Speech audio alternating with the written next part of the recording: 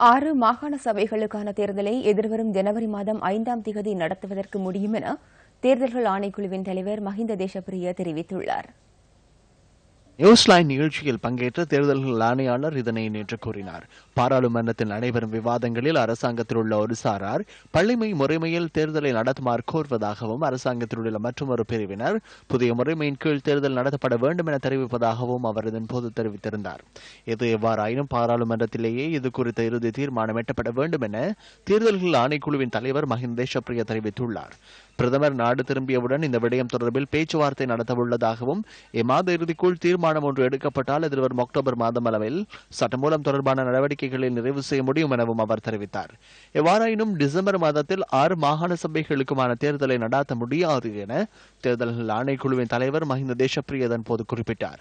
வட மாகாண சபையின் பதவிக்காலம் அக்டோபர் மாதம் இருபத்தி ஐந்தாம் தேதி நிறைவடைவதாக குறிப்பிட்ட அவர் தேர்தலை நடத்துவது தொடர்பில் பாராளுமன்றமே இறுதி தீர்மானத்தை எடுக்க வேண்டும் எனவும் தெரிவித்துள்ளமை குறிப்பிடத்தக்கது.